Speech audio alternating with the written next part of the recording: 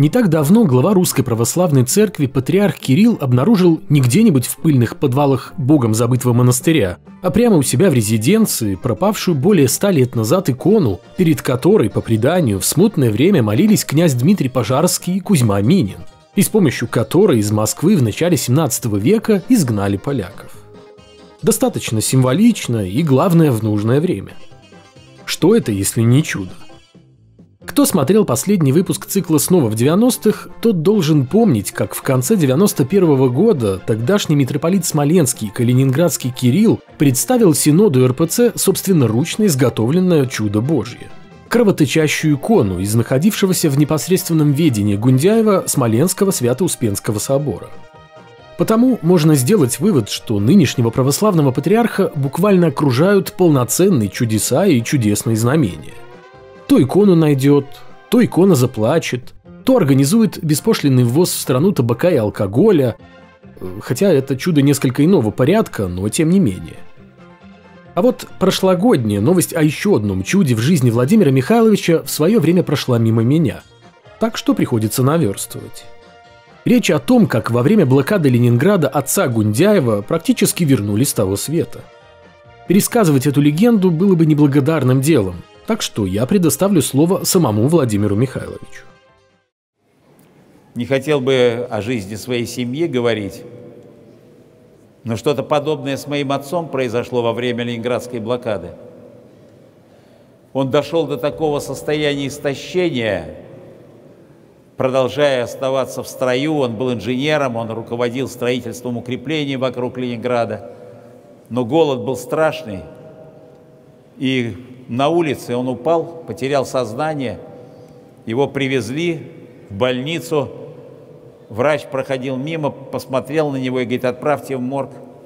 Ну, правда, так и делали с теми, кто, кого на улице подбирали.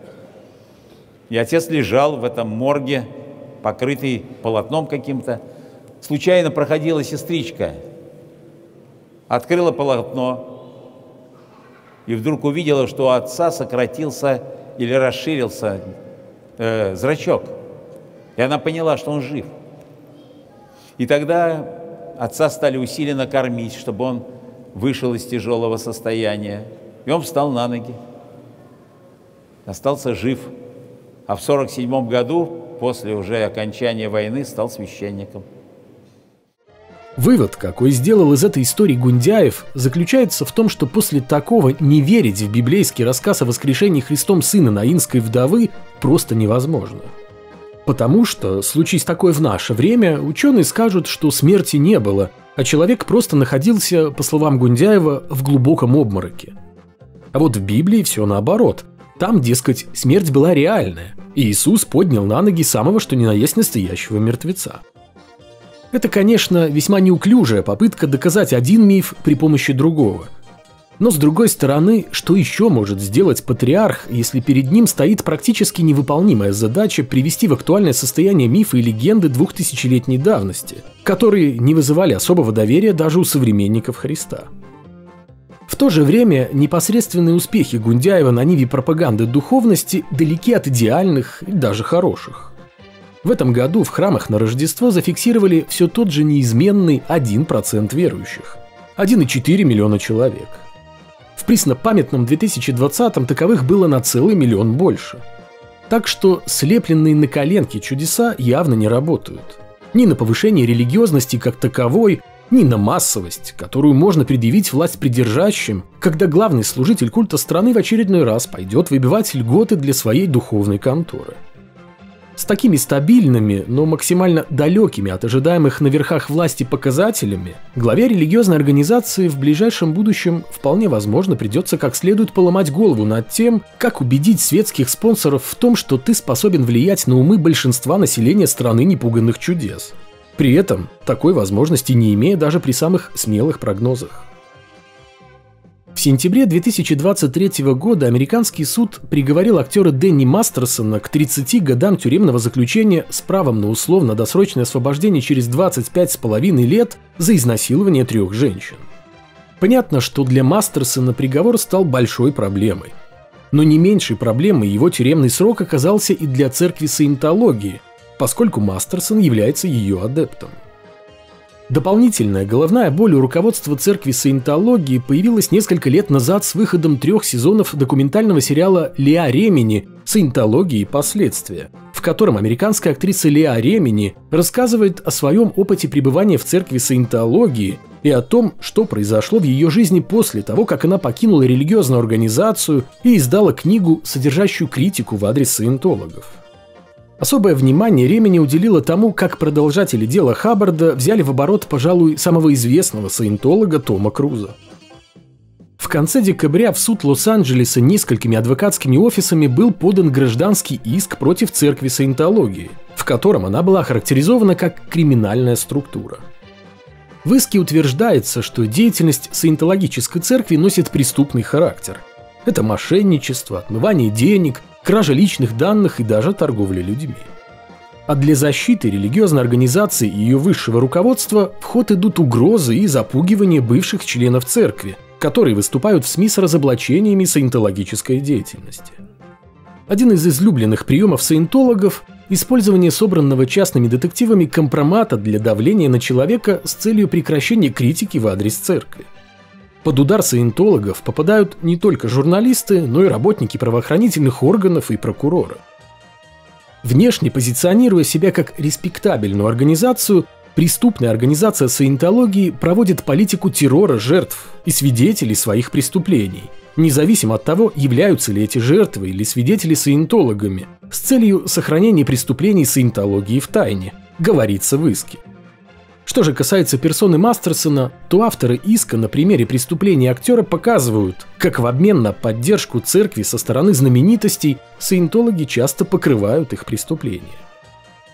Не без интереса приходится наблюдать за тем, как церковь саентологии называют чуть ли не мафией, в то время как другие религиозные организации, едва ли чем-то особо отличающиеся от духовного детища Хаббарда, считаются эталонами нравственности и морали – о них мы сегодня еще поговорим, а пока давайте закончим с последователями писателя-фантаста.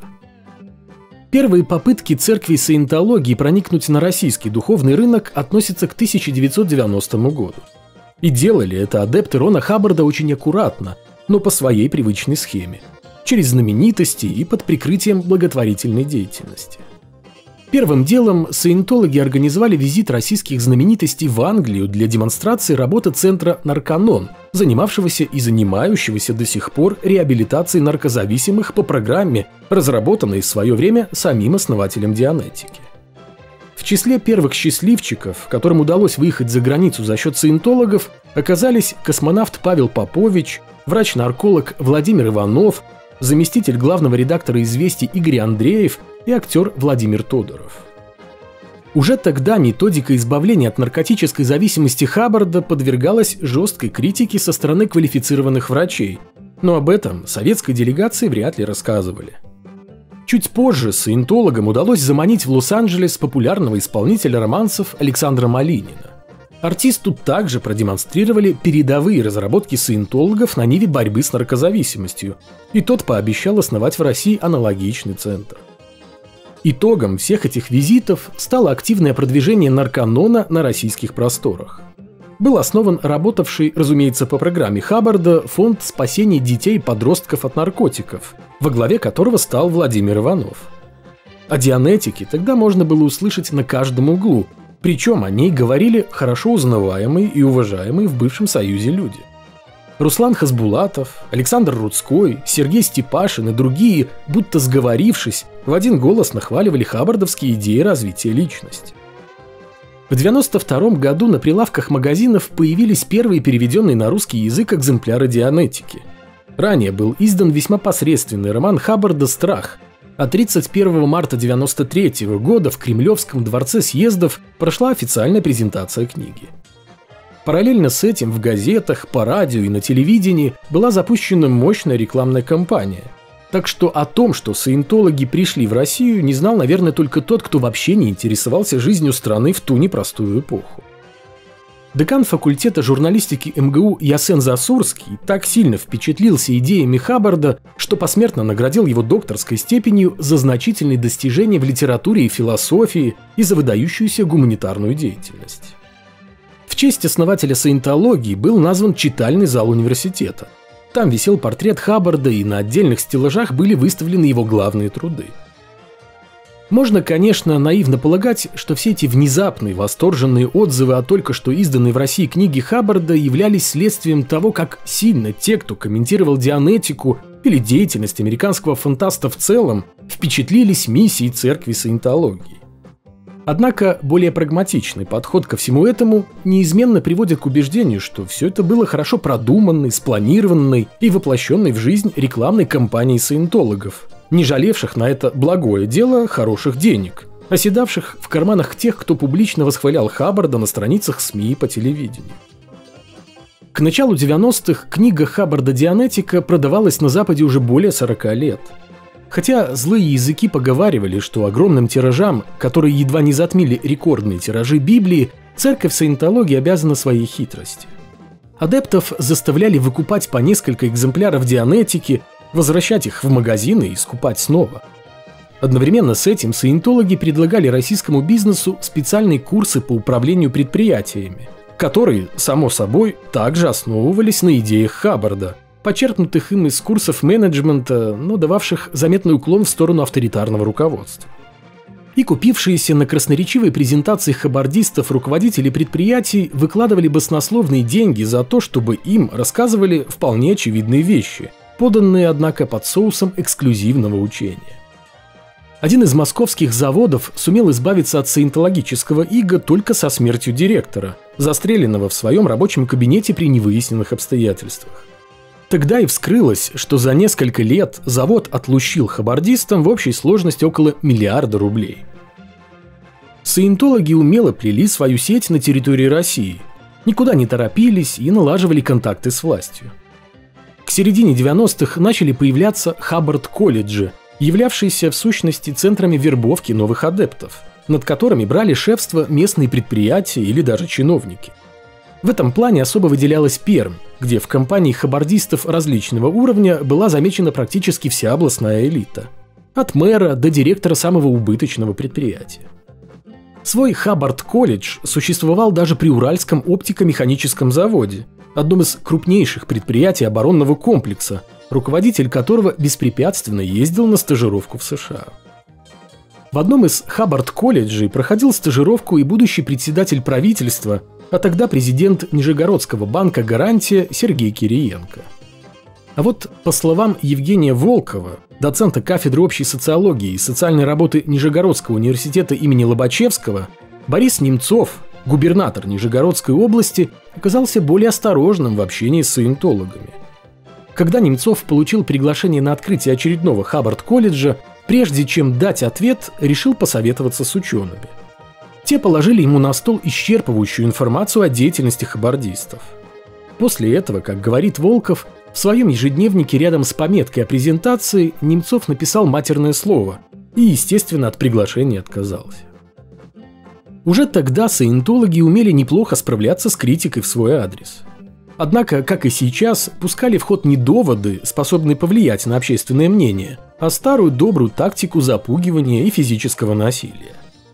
В 1992 году подверглись нападениям несколько западных журналистов, писавших о саентологии совсем не то, что хотелось бы иерархам этой, как теперь выясняется, криминализированной организации – а напечатанный тогда же в Германии тираж посвященного саентологии сборника «Миссия любыми средствами» долгое время не мог попасть на прилавки магазинов из-за многочисленных судебных исков, которыми церковь Хаббарда заваливала издательство.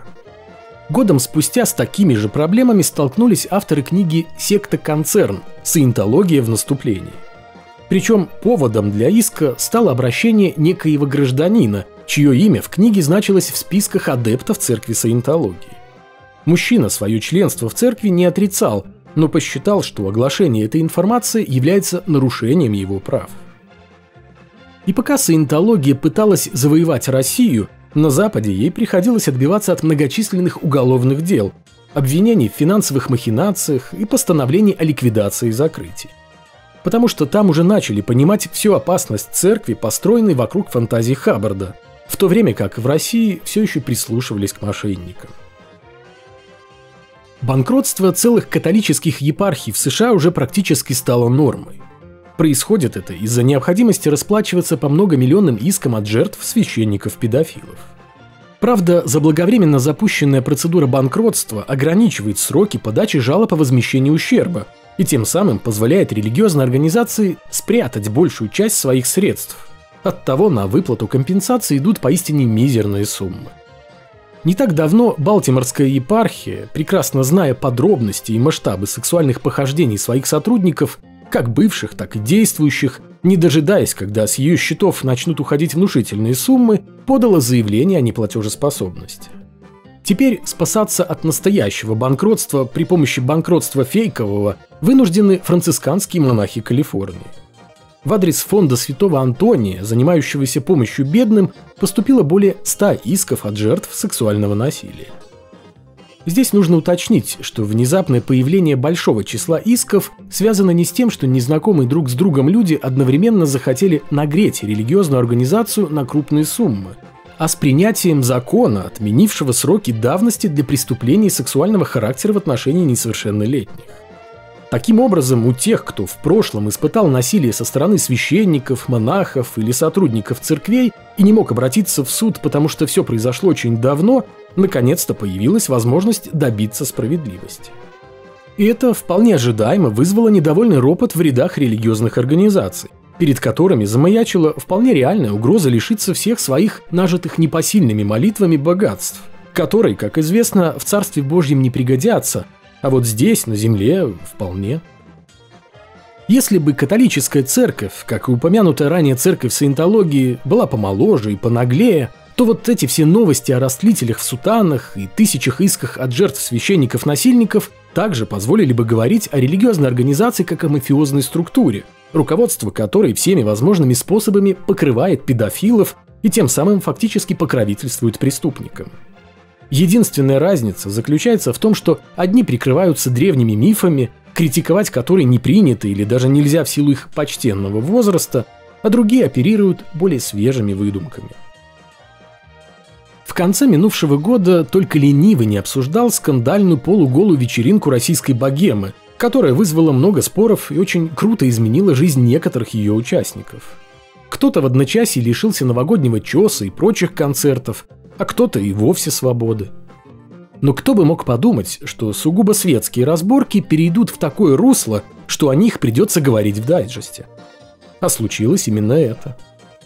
Основной массе населения в целом плевать на то, как развлекаются знаменитости не первой свежести и качества, а уж тем более их менее известные коллеги.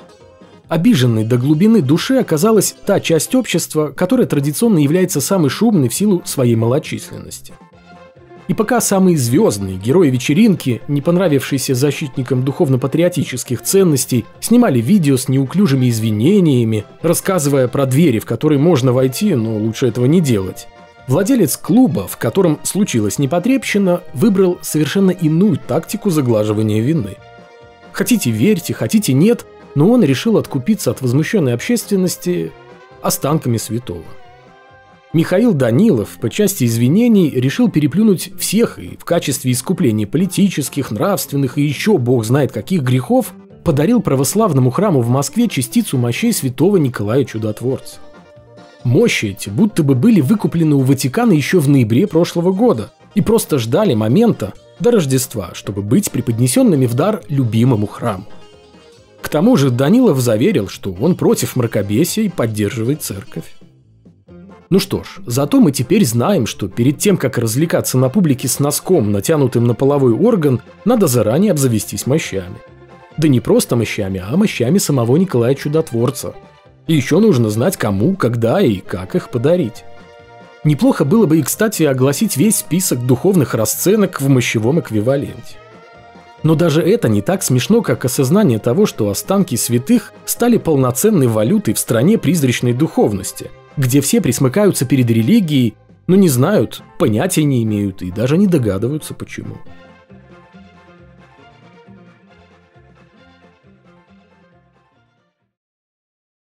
Сердечно вас приветствую, Олег Дмитриевич и Борис Константинович. Добрый день. Добрый день. И Николай Александрович. Рад вас видеть в добром здравии. Вот с кем-то из вас мы уже имели возможность общаться. И я радуюсь новой встрече. Хотел бы сердечно вас поздравить с праздником, который мы сейчас все отмечаем. Спасибо, спасибо. Мы очень рады вас видеть и с Рождеством поздравляем. Спасибо. Праздник Рождества очень торжественно сейчас празднуется по всей нашей стране. И меня очень тронуло особенно празднование в городе Москве. Очень большое количество молодежи, детей. Чувствуется такое духовное возрождение нашего народа. А когда укрепляется дух – то укрепляется все. Страна укрепляется, народ укрепляется, потому что наши победы всегда были связаны с силой духа. Вот дай Бог, чтобы всегда в нашем народе был сильный дух и сильная воля. И ваш пример является очень важным, потому что вы являетесь действительно, ну, в каком-то смысле олицетворение сильных людей. И это очень важно для нашей молодежи. Поэтому для меня это и радость, и честь общаться с вами, ну вот и выразить вам слова благодарности и признательности за ваш подвиг. Спасибо большое. Спасибо. Спасибо. С Рождеством, с праздником. Спасибо. Взаимно вас поздравляю с праздником Рождества Христова. Благодарю вас. Ага. Дули вам всем.